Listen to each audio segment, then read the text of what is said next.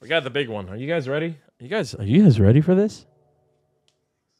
I'm not ready for it. This next one's um a spicy. It's it's it's a, it's a spicy one. A very spicy. Little touchy tub subject because uh unfortunately I'm kind of in the middle of this one. So now it's time for true juicy drama. All right, so um, just to Acronator even just jumped the jump the gun, lava jumped the gun. All he said was like some juicy ra- like ra- like juicy oh my god juicy drama, random rant coming. Right, that's all he said. A tweet went out this morning or yesterday, excuse me, by our one and only hunted. Um, he is uh, an American caster. Um, he's casted for more than just Trackmania. He's casted for Rocket League. He's casted for other stuff, right? Can you hold this juice for like three more minutes? Man, it's going on YouTube, my guy. Um, but I saw imports tweet. Yeah, no, the last chance qualifier one. That's mine. That is me. I didn't tweet it out because you know, like, I I'm I'm not about this. I don't do this this shit on Twitter. I I'm I'm here in person, man. You want to talk shit? Talk to me here in my chat. I won't ban you for it. I don't I don't I don't I don't do this Twitter back and forth bickery bullshit.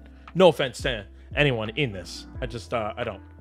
Let's go. He doesn't ban. I will ban you for other reasons. But if you come in here to talk shit with me, I just talk shit back. And if it gets a little bit more than it should, if it gets out of, you know, gets a little insane, then yeah, no, then that's when I cut it.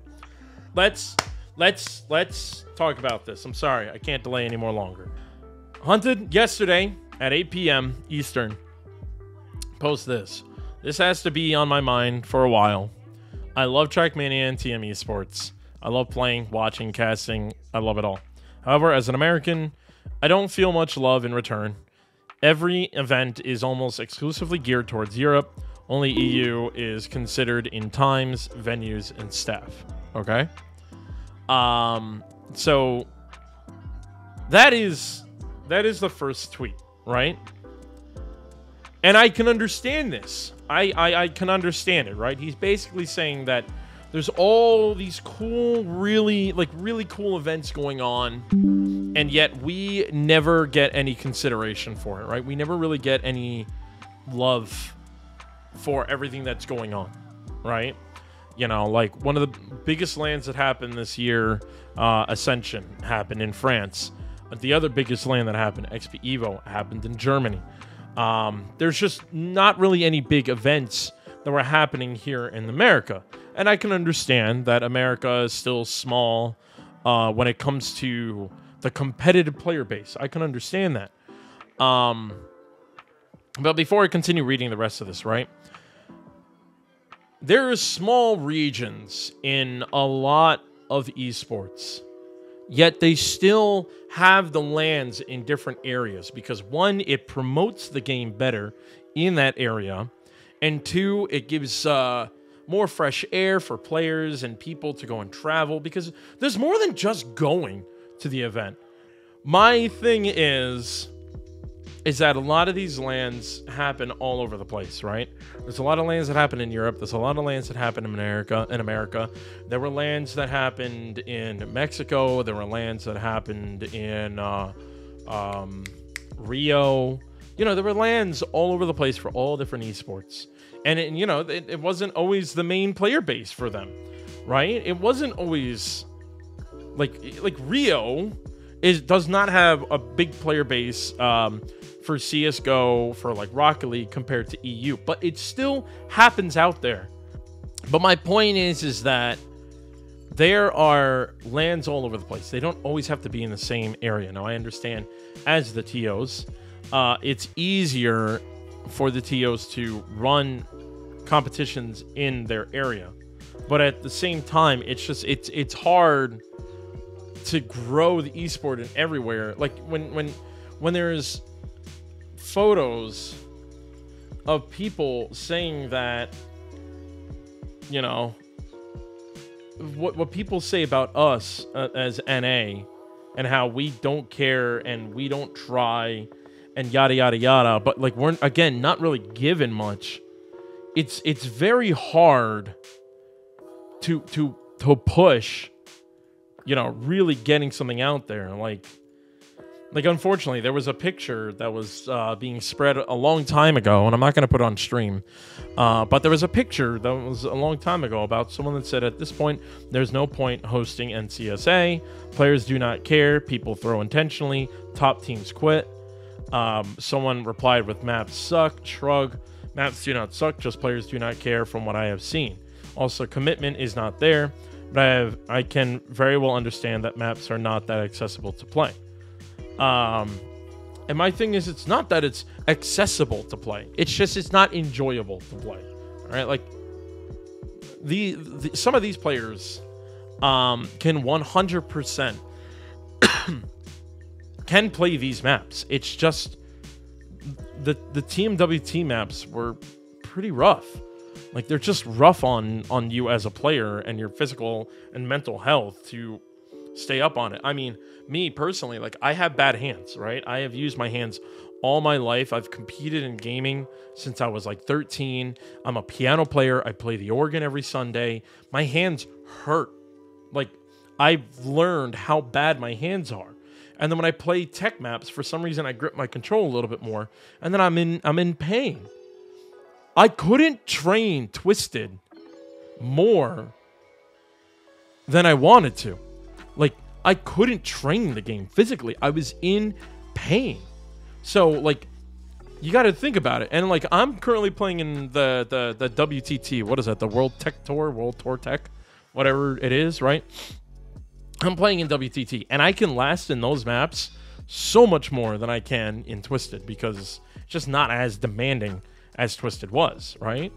Um, but my point is, is like the maps were kind of a rough one, but I don't want to get too much into that. Now I want to focus on what we're talking about here is the NACS scene struggling right now, right? Um, so again, Hunted posts his tweet out. I'm not looking. I'm not asking to be put on a pedestal. Rather, I implore orgs, organizers, decision makers, and the community at large to at least consider the growth the game could see if you can convert even a tiny fraction of daily NA players into esports fans. And that's another thing. There have been multiple reports saying that North America, especially like I think it's just America in general, has the biggest player base country right now. We are the biggest player base. America dominates the, the, the Trackmania scene casually now because of all the console players. So let's grab onto those console players, like in my last rant, how how Nadeo missed their shot and missed a lot of money. How about taking a second chance and doubling down on the esport because it's just it's just a thing here in America. We just love competition, man. We love just getting loud and rowdy and, and screaming and getting excited about video games and, and, and sports in general, you know? Like there's just so much that is being missed, and I and it, a lot of people are just downgrading NA. Right, they're just downgrading us, saying that we're like, you know, we're just not as good, so it's just no reason to. Okay, EU has been dominating Rocket League a lot more than and, than NA, right? EU's been killing it. South America is starting to kill it. They're really starting to push into Rocket League. Yet, and I don't want to hear it that be, because Psyonix is an American company, because Psyonix literally switches back and forth and back and forth, and they've even gone out of NA and EU and started hosting lands in other countries and other continents. So, like, so what? There will be people that will show up. It will get big, and I'm gonna prove it because I got a big announcement coming up soon. And if some of you already know about it, but I got a big fucking announcement coming out soon. Just some papers need to be signed. And then you're going to see a big fucking announcement is coming out. And uh, this whole tweet and the tweet I'm going to show after is going to go out the window. You watch. But yeah, anyway, um, it's anecdotal, but I've spoken to a number of different NA players who are active in the game but are completely unaware that uh, there's even an esports side to Trackmania. Many said they would play, but with such a tiny number of events and practically zero official support, they choose not to. Right? Again, a lot of tournaments out there and no official support either from uh, from Nadeo or some bigger thing. Now, and that's my other thing that kind of bugs me.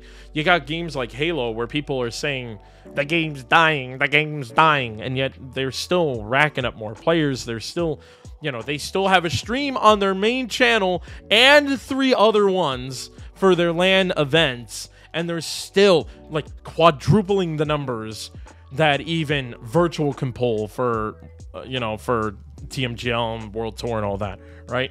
Like a dead game is killing it. And guess what? They have the orgs even hosting events that that have points that go towards um, the main event. We have an NA org that's doing absolutely nothing for us. G1 literally came in, signed a team that's not even North American. They signed a French team, and they've done fucking squat diddly shit for us. So, who was really to blame? You know? And I'm not putting all the blame on G1, but it just kind of sucks. They just signed a team and that's it. They're not helping us out. And then you got a small org like Damascus Gaming, who's, you know, like looking to sponsor me in my events so that I can help the North American and NCSA in general. So I can post event, put events up. They're looking to help me out. They they sponsored my last event, you know, and it's just, it's insanely like it blows my mind that a small org can do that, but a big org can't. Um, it's not an easy thing to fix. I love that Trackmania is a global game with relatively seamless support for worldwide competition, but I think it may benefit everyone long term to split the Americas into its own separate region. This is the one thing I do not agree on. Don't split us up. It's still too small of a player base. And that's something else I'm going to talk about as well. The only way you are going to turn your average American casual fan into a dedicated fan is to give them something to care about.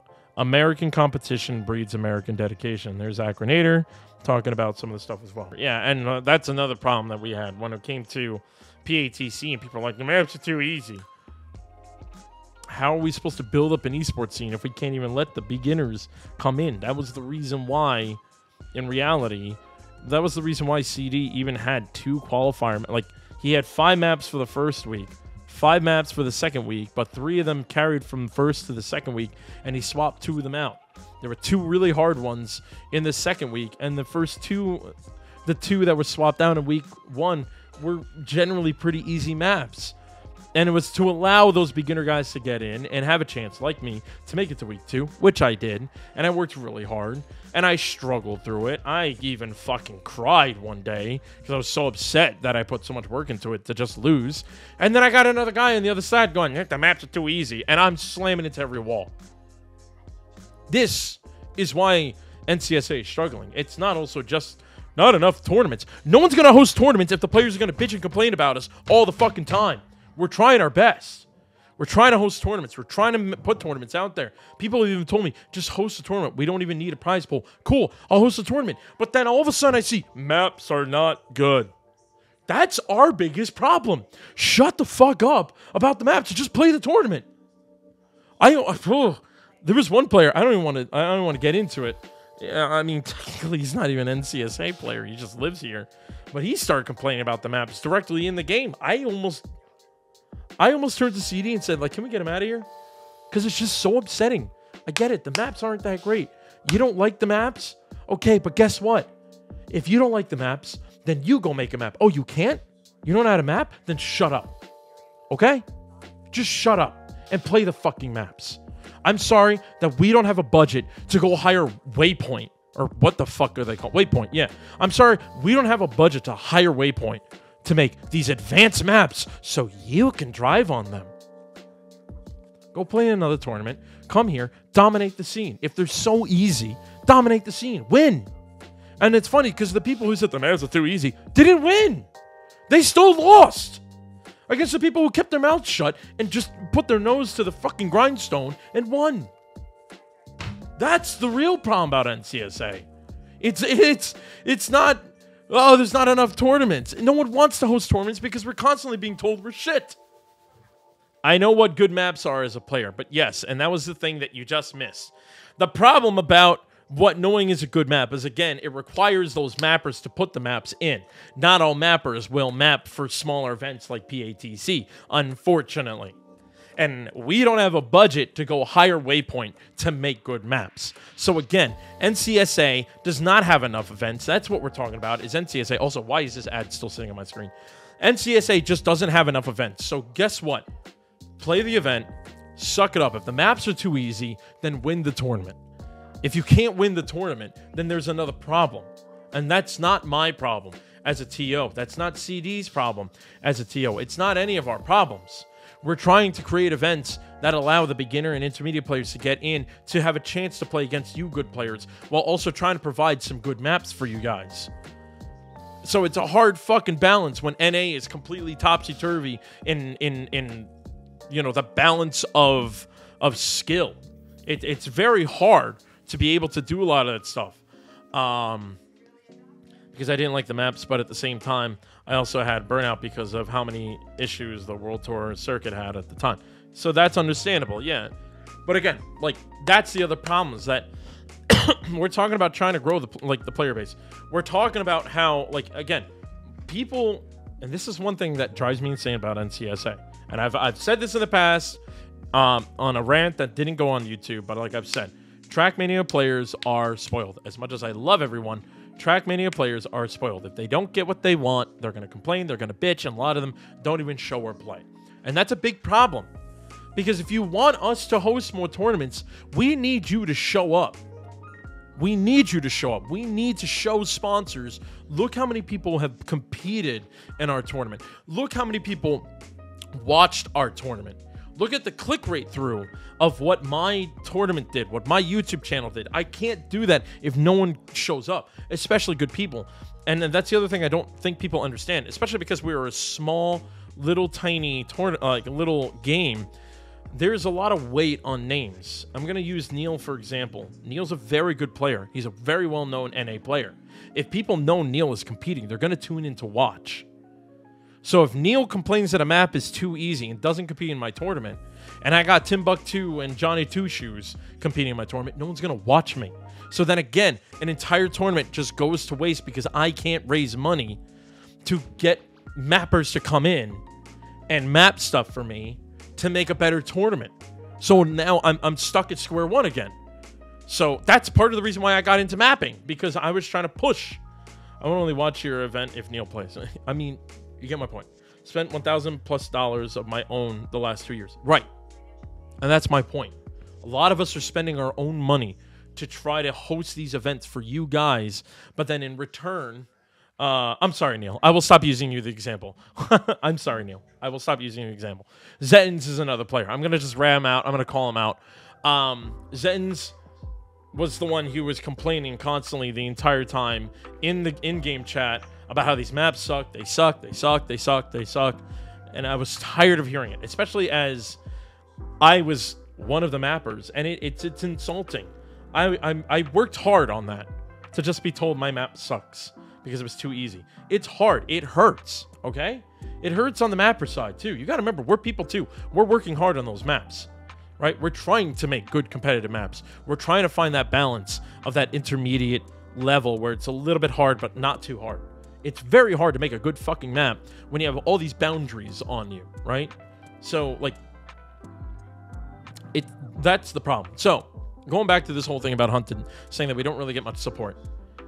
Um, and then Hunted said, "All I want is a Trackmania land in a place fe- uh, feasible for NA travel, which would be great." Uh, I liked your PATC map. Thank you, Acronator. I appreciate it. But this is where the juicy part comes in. No, you didn't, Neil. You don't have to say it. Import, who's an American who lives in Europe now, goes, I feel like to respond to Hunted, and uh, again, he made his own tweet. He made his own. he didn't even just respond. He had to go out of his way to make his own tweet. I don't even know what this person's. What it? Oh, the video editor. Um, I need to make my own thread on this.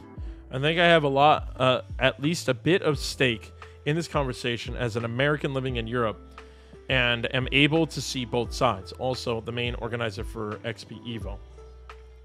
Uh, he is a solid player. I think that overall NA is a very skewed market due to its hyper casual presence. It makes it very difficult for any esport to thrive, let alone NA lacks a person willing to do the work to make something happen. Before you whine about finances, we got um, Experian for zero dollars. I don't. Can someone enlighten me on what this one is? I don't even know what this one is. And this is a good for you moment because your next event's, you know, oh, is the venue. Okay, good for you. You were able to talk. Um, you were able to talk them into to doing that. Not easy in America. It's a little bit easier in Europe, especially because even the who was it, the French president or ambassador, even recognized Trackmania um, as like a like a big game. So yeah, in Europe, I feel like it's a little bit easier. How do we do that? We leverage the TM community's might with Evo's experience as an event organizer. NA doesn't have Evo, and they don't have someone like me or Atomic Liquid to do the dirty work for them. And, and if we talk NCSA, Nats, I'm sorry, is your name too big, import, that you don't, you can't even like look over back at where you came from just to even recognize some people that have been working? You want a solution? Do the work. Make the connections. Use the knowledge and leverage you have. What the fuck you think we're all doing? Tommy is the least controversial guy. Why did he get dragged into this? I know, poor guy.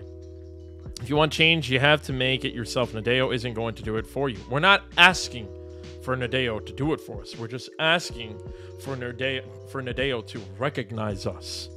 It feels like we're not even recognized. We're not heard. When was the last time you saw an NA event like PATC, like SAC, like those events, be broadcasted in the Trackmania game. But all these other stuff always, always, always just being promoted. You know, like like I love Vixa. I'm just gonna use him as an example. Vixa's campaign was promoted. Wasn't even a full fledged tournament. You know? Um very thankful to Nadeo for sponsoring a very small part of our event and being so supportive. But they know and we know that XP Evo was going to be a full on success when the community is behind it. Okay, the in game promo might be on me. Whatever. I want to see NA grow too. Maybe we can work together to provide something in the future. But the only thing NA can blame is its lack of self sufficiency and work ethic. I'm done ranting now. See you all at XP Evo 2024. And it's just, it's kind of annoying when there are people who are trying that unfortunately don't have the connections that Import has. Like, the thing is, if you want change, you have to make it yourself, right? That's come that's fine. Do the work, make the connections, use the knowledge. The problem is there's a shit ton of connections over on the EU side, there's not much over here. Because he said it himself, there's not much for us over here. We are our own connections. Everyone that's pretty much in this stream right now, talking in the chat, is all part of the connections. You know? Um, Why do I yeah, I know, right, Enlightenment? Um feels like a survivor bias, yeah. Look, bro, all I want is some comps to be at 11 a.m. or 12 p.m. They are like Eastern 8 a.m. Yeah, I know. I get that. If you ever want to organize a LAN on, on my house, you guys could come. Oh, boy. Um, but yeah, like, and that's the other thing, you know, like CD and I are definitely working on that. And, and, and Alex, I should give it to him too. And he worked hard on TMAA. Um, and then Hunter comes in. You know, I respect you and what you have been able to accomplish. Maybe I'm misinterpreting this post, but can't help but feel attacked here the hundreds of hours, the numbers of volunteers, or, or terribly paying gigs, and time spent organizing I've done has to count for something. Hunted just wants to feel recognized and thanked. And this guy straight out goes like, "You came in here for the money?" It's like, no. That's more offensive to the community itself than anything else. TM casters who have been in the scene far longer than you have been doing this for years, and the rates you've gone are more than what some have gotten over several years. I don't know who is telling you my TM rates, but I guarantee it's an over exaggerated at best. Besides, I'm not going to apologize for working my ass off to get to the level I'm at and expecting to be compensated accordingly. I took these pay cuts for the love of the game. And he's right. He's right. I am not going to go into Hunted's details. I'm not going to go into his stuff, right? But Hunted has casted for more than Trackmania. Hunted has casted for like Rocket League and has casted for some big team names. And he gets paid for it. And then he takes his time out and casts for free for Trackmania. Hunted even had to like I think it was I think it was when it was America versus Canada. There was an event going on. It was all for fun. Hunted went there for free and casted that, and then unfortunately had to leave to go cast an actual track uh, Rocket League tournament, right? For RLCS. For RLCS. The Pro League. I, I don't blame Hunted for feeling that he should be compensated for the work he puts into it. And this is something, I, I don't want to get too into detail, but this is something that all the casters have said. And we're all in a private Discord with um, some of the people from Nadeo, uh, more on the esports side. And one and they and they asked us for feedback. And one of our biggest feedback was more compensation for the work we put in. Um, we're paid very little. We're, we, we were paid very little. When I found out how much I made for casting an entire show by myself, for running our production, going above and beyond, trying to get you guys two cameras up, trying to get you cool camera angles and all that. I got paid. I got. I got. I got paid squad diddly. I get more sitting in an organ playing nine songs for 40 minutes than I did all of that. Um, you know, like and again, and and and it's exactly right here. This is the line. I took these pay cuts for the love of the game. Now all I'm asking for is a little bit love on the other way back.